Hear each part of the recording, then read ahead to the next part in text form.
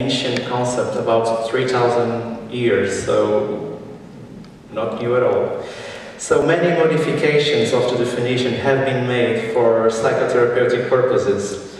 And as I said, one aspect of mindfulness is remembering. Remember to pay attention, but it is more than being passively attentive. It's an active attention that you develop. And the ancestral purpose of mindfulness is to eliminate unnecessary suffering by cultivating insight into the nature of the mind and how it operates in the world. And Jon Kabat-Zinn, and Jon Kabat-Zinn is known as the father of mindfulness in, in our Occidental society, defines mindfulness as the awareness that arises from paying attention in the present moment intentionally and non-judgmentally.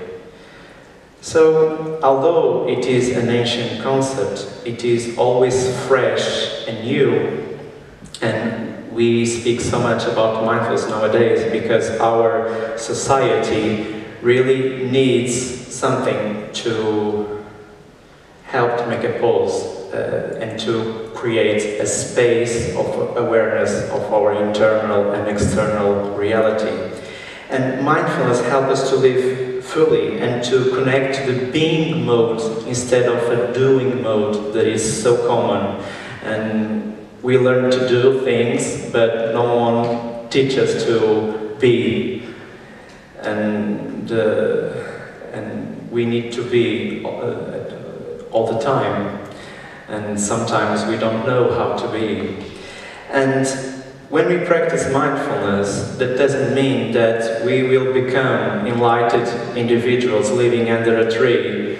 No, we won't become Buddha, I'm sorry, because we'll continue to do things, to react, to feel stress, anxiety, depression, but the main difference is that we will be aware of these uh, emotions, uh, thoughts, body sensations, and when we truly know, when we truly inhabit our bodies, we become free to choose.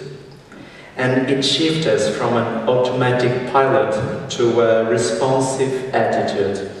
And I usually say to the MBSR participants that if we think about a goal, and mindfulness has no goals, but if we think about one, it will be to generate a space, a space inside of you. And with this space, this space of awareness, I could really see and sense the event and change my reaction to a response.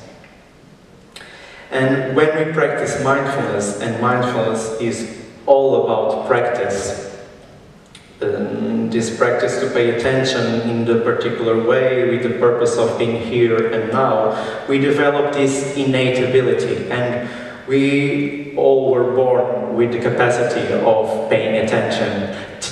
T teachers yell at us to pay attention, but of course that's not a great way to teach how to pay attention.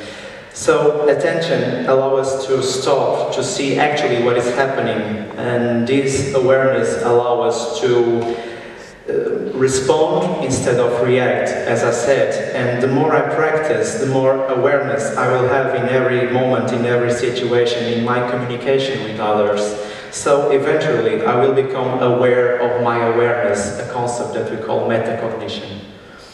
And when we practice mindfulness, we develop this mind, but also this heart attitude and all mindfulness practices are based in nine fundamentals or attitudes, and they all coexist and are doors to each other. So, in no particular order, we have non-judging, and non-judging means to taking the stance of an impartial witness and witness the stream of our mind, good, bad, right, or wrong.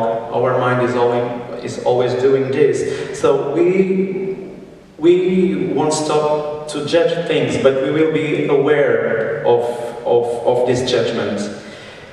For this, we need patience, of course, and patience means to let things unfold at their own time. Imagine a child that wants to help the butterfly coming out from the cocoon. The chances is that the butterfly won't benefit of it and it will die. So things unfold at their own time. Beginner's mind, uh, we can think that too often we let our thinking and uh, our beliefs to, to stop us from really see things as they re really are at the moment. We are always trying to change the situation and we, we live our experience based in our previous experience. So uh, we are not really here. Trust. We need to develop this basic trust in our bodies, in our sensations, in our feelings, in our instincts. And these also help us to honor uh, our existence. Non-striving and as I said, meditation has no other goal than for us to be ourselves and irony is that we already are. So we are always trying to push situations and make them look like what we want them to be. So this demands an enormous amount of energy, of course. Acceptance. Acceptance just means seeing things as they actually are in the present.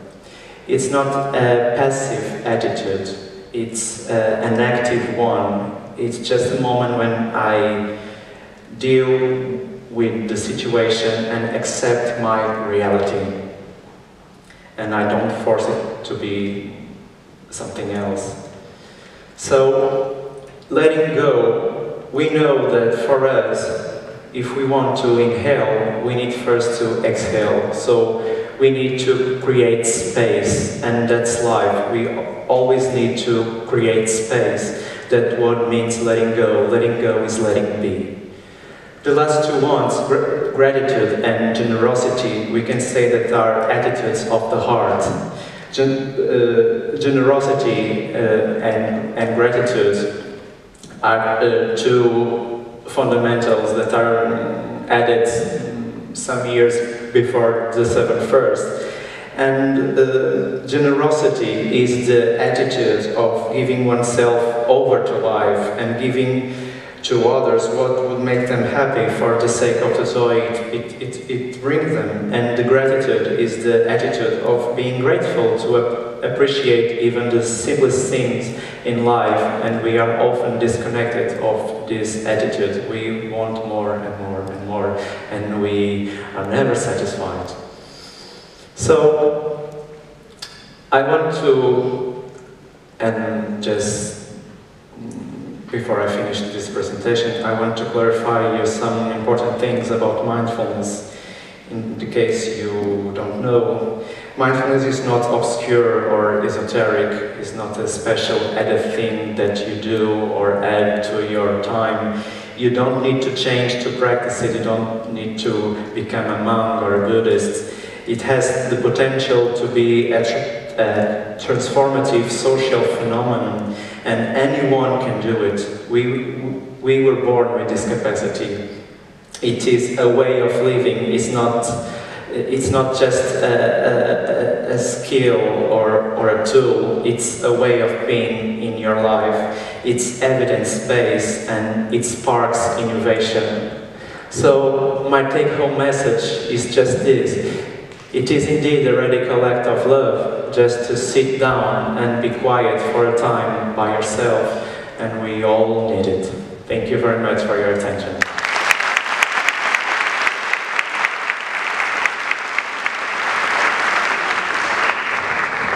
Thank you very much for your lecture, Dr. João Perestrelo. Now let's open the floor for some, some questions. If you have a question, please raise your hand, please. The microphone will be handed to you. There's one over there.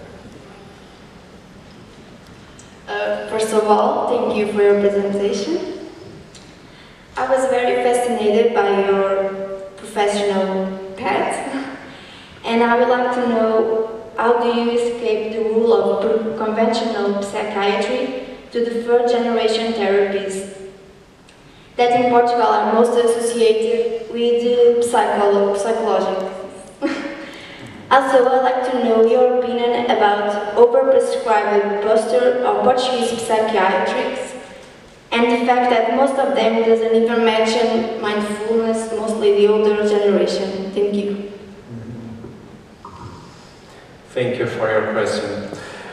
For me, there is, I don't believe in that concept of, of classic psychiatry. Psych- psychiatry is a field uh, and uh, it, it is a mental field and for me the aim of this field is to uh, is to try to help the individual to truly know himself and to be aware of what is happening in his or her mind. So, as I said in the beginning of my presentation, I don't believe that you can separate mind from the body. You need to address both. And even if in our country, um, when we are learning psychiatry, we don't learn psychotherapy at the same time, and unfortunately, that's our reality.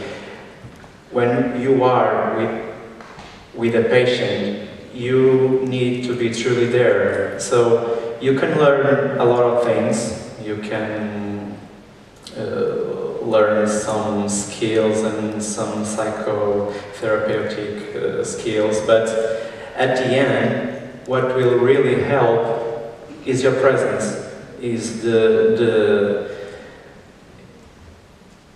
the attitude of really being there and listen truly the, patient. And you can't learn that, they won't teach you this, but it's the truth. You just, you, you just need to be there for, for the person. And uh, this is uh, uh,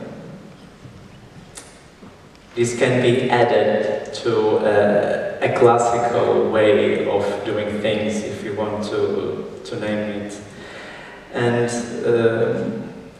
about your second question. Well it is true that